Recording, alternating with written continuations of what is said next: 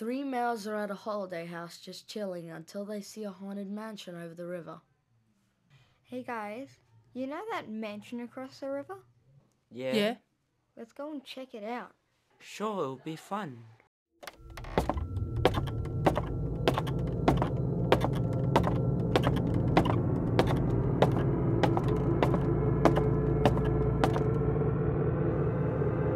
Did you guys feel that? Yeah. Yeah.